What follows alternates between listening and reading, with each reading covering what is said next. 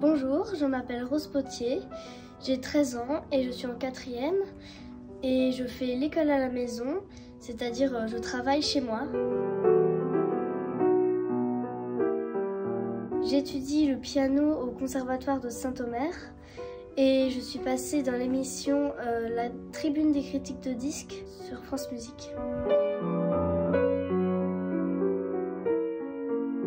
J'ai toujours voulu faire du piano, c'est euh, un instrument qui m'a toujours attiré. Et le fait que ma mère en joue m'a aussi motivée. J'ai commencé à 8 ans et bah, maintenant c'est ma, ma cinquième année.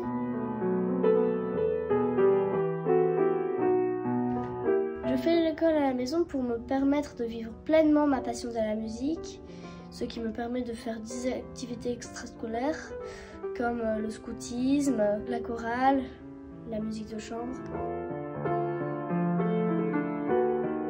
Je prépare le concours de piano d'Orléans Brin d'herbe.